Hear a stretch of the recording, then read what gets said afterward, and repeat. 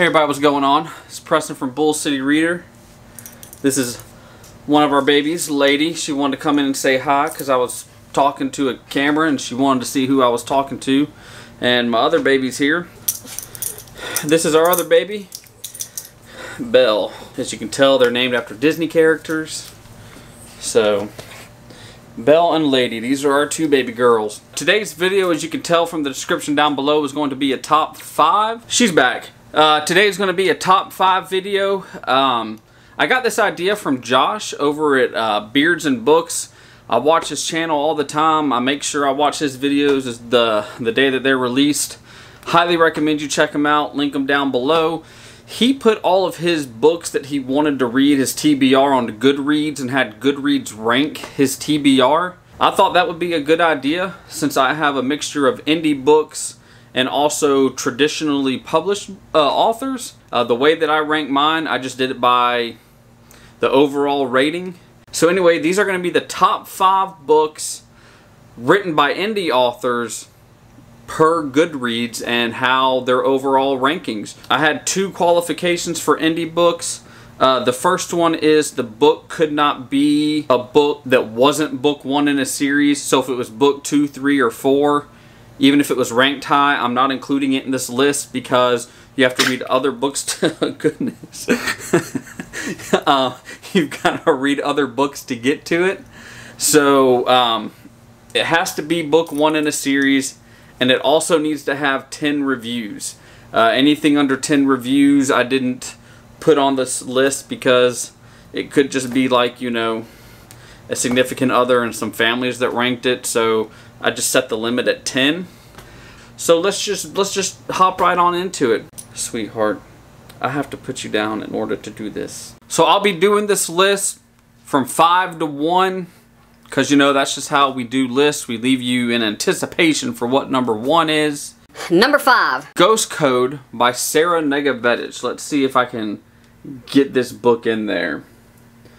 So Ghost Code by Sarah Negovetich has 26 reviews on Goodreads and it's averaging 4.46 stars out of 5, which is pretty good. Um, so Ghost Code is about our, our main character whose name is Viv. Viv is 18 years old and she has cancer and she's kind of tired. She's She hates seeing her family worry about her and she knows the debt that's just racking up in order to treat her, so she decides she wants to go out on her own terms. Her own terms are she signs up for a research program, and in this research program, she's put in a coma for 30 days. She's a lab rat for those 30 days, but after those 30 days, they'll unplug her. She'll go away peacefully, and all the all of her medical debt will be wiped out, um, and her parents and family won't have to worry about the medical debt that's accumulated while she's had cancer. But after 30 days, she wakes up and learns what it really means to live. Uh, this book came out in 2017, I believe. I got this book. Um, I, I met the author at a book con before she wrote this book. She just had a trilogy out. I've read the first book in that trilogy and it's really good. She's such a fun person to meet and hang around. She's so fun. So I did interview her about this book on my podcast. I'll throw the little thingy up here, whatever side it comes on. If you want to go watch it, um, her interview is around, I think, like 37 minutes long. Learn more about her as an author, learn about how she got the idea for this book, how the, the main character is Hispanic, I believe, and she's not. So, was it hard for her to write from a perspective that she's not from a culture that she's not from. Uh, we dive into that a little bit, I believe, if I'm remembering her interview right. So anyway, guys, number five, Ghost Code by Sarah Negovetich. Book number four. So book number four, according to my Goodreads, according to Goodreads, is a book called 122 Rules by Deek Rhew. See if I can get this whole thing in here. 122 Rules by Deek Rhew has 50 ratings and is averaging 4.52 stars on Goodreads. 122 Rules follows Sam Bradford, and he is a former Marine uh, turned government assassin. He lives by what's called uh, the 122 Rules of Psychology. Uh, he has killed innocents before because that's what he is supposed to do. On his latest assignment that he has, uh, his latest assignment is a woman named Monica Sable. And right when he has her in his crosshairs, his conscience kicks in. She's escaped. She escapes, starts going across the country, and the mob is after her. So he has to decide does he want to break his rules and try to save her or go after her with the mob? Uh, that's what this book is about. He is working on a follow up, I believe. So, yeah, uh, I also did interview him and his wife on the podcast. Again, I'll throw a little thingy up here and a link down in the description if you want to check it out. It is a longer podcast because we talk about this book a little bit, another one of his books, and also a trilogy that his wife has out. So it is a longer podcast episode. I believe it's about an hour and a half. Uh, but again, 122 Rules by Deek Rhew. Number four on my Goodreads TBR. Number three. So number three, according to Goodreads, is actually it's an interesting premise. This is actually an an, an anthology. So what makes Prep for Doom so unique is there are 20 short stories in this in this not in this book anthology, and all 22 stories are all related into one storyline. I think the synopsis is the best thing for me to tell you about the book. The other ones I summarized the synopsis. Uh, but since there's so many short stories in it, I want to make sure I get all, all the little details that they mention um, in the synopsis. So what begins as a seemingly innocent traffic accident soon spirals into a global pandemic. There is a virus that is released upon New York's unsuspecting population which brings bloody suffering within hours, death within a day, and spreads worldwide within a month. An online community called Prep for Doom has risen to the top of a secret doomsday preparation movement. Some have written them off as crazy, while others couldn't be more serious about the safety the preppers could provide in a global disaster. But when the virus strikes, their preparation may not be enough to save them.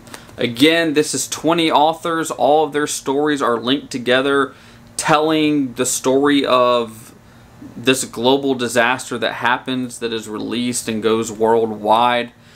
Um, a lot of the authors, if I'm remembering correct, are part of a Facebook group called Band of Dystopian Authors and Fans. It's a real awesome Facebook group. I'll put a link down in the description to it. I highly recommend you check them out if you're into post-apocalyptic, dystopian kind of stories. They have a ton of authors and fans on there that can always recommend great books to you. Um, all the authors that are in this book, if I'm remembering correct, are part of that group. So I highly recommend you check out the book, highly recommend you check out the group. Number three on my Goodreads list, Prep for Doom by Band of Dystopian at the top, like I said, the, the Facebook group. Number two. So book number two, according to Goodreads on my TBR by indie authors, is a book called Fight the Rooster by Nick Cole. Let me get that book in here so you get a look at that cover. Fight the Rooster has 50 reviews rating 4.56 stars out of 5. Uh, Nick Cole has had an interesting um, career. He has one or two books that were picked up by publishers. I believe he's gotten the rights back to him now, and he's a full, he's fully an independent author uh, or indie author, putting his books out on his own. He is writing a series with another indie author right now called Galaxy's Edge. It's like galaxysedge.com or Star Wars, not Star Wars.com. It's kind of like what they want Star Wars to be. But anyway, so Fight the Rooster. Uh, there is a book that has been put out by an author, which is all the craze and is supposed to be turned into a movie. Uh, the movie director that's supposed to produce the movie has come to the realization that his movies are slowly killing him. And so after a therapy session, he decides that he needs to kind of like sabotage the the movie that he's directing and he's going to do what the uh, according to the synopsis he intends to shoot the equivalent of Brad Pitt reading the telephone book except without the Brad Pitt part. And there's a bunch of people that don't want to let him do that so there's a bunch of shenanigans that occur. Uh, it says that there's like a race scene that you know would make Steve McQueen proud. So it's it's supposed to be a good kind of a funny read, action read. It sounds very entertaining. I know several people that have read it and loved it. And like I said, it's got 50 reviews, averaging 4.56 stars out of 5. So anyway, Fight the Rooster by Nick Cole. Number one. So guys, number one in this list, um, it's had an interesting life uh, to get to where it's at now. It's the first book and I believe a trilogy. I believe the third book just came out. It is The White Dragon Genesis. Genesis is the first book in the series. It's by Stefan Bolz. White Dragon Genesis has 55 reviews on Goodreads, averaging 4.71 stars. It's not a very long read, as you can tell. Um, it is only 179 pages. It's 179 pages. It's getting good reviews. Like I said, the third book just came out. I believe that's the last book. I believe it's only going to be a trilogy.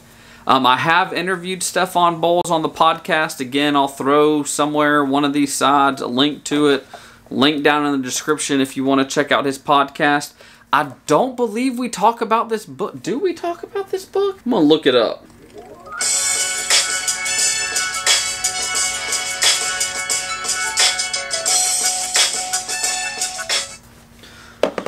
So no, we don't talk about this book in the podcast. Um, when I interviewed him, it was when I first started the podcast. He was one of my very first podcasts, so it's a little rough if you want to go listen to it. um, but anyway, what is this book about? Let me just read you the synopsis. It's only a paragraph. No point in me summarizing a paragraph. The White Dragon Genesis is the story of the very beginning of an apocalyptic event as seen through the eyes of an 18 year old girl. During the 36 hours of terror that turn Casey Burns' life upside down and strip her of everything clear to her, something inside her awakens. It is a gift and curse alike, for it can destroy her or turn her into the most powerful weapon against the evil that has reached the shores of our world. So that's the synopsis of it. Maybe I should read it. It's so short, and I have book two also. And it, it got just as high ratings, actually. It ranked right above this, but since it was book two, I didn't do it. I did book one because it was right below it.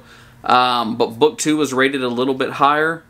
So I'll put a link to this book down in the description if you want to check it out. Stefan Bolz, The White Dragon Genesis. I've read some of his other books and stories and they're they're great, so I know that this story is going to be great. Well guys, that's it for this video. This is the I guess you can say part one of part four because I'm going to do four parts.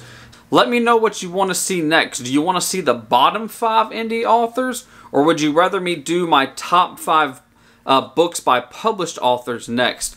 Let me know down in the comments below which one you're more interested in. I'll do that video next. Um, I've, I need to figure out a book to read. I haven't read in a couple days. Um, and one thing I just want to mention before I close, when I was looking at my, my Goodreads list uh, at the rankings, I was surprised actually at how many books were part of series that weren't book one, where book two, three, and four were getting higher rankings than the beginning of the series. I just I thought that was kind of interesting. I'd be curious to know uh, if you have a, a Goodreads, is your rankings the same? Do you have other non-book ones in the series that are higher ranked than book ones? I thought that was kind of interesting. But anyway, guys, I'm going to end the video the way I started it with little lady here. So until next time, guys, keep reading, and uh, I'll see you in the next video. Maybe she'll be with me. We'll see. But anyway, guys, keep reading, and we will see you, or I'll see you in the next video. Bye.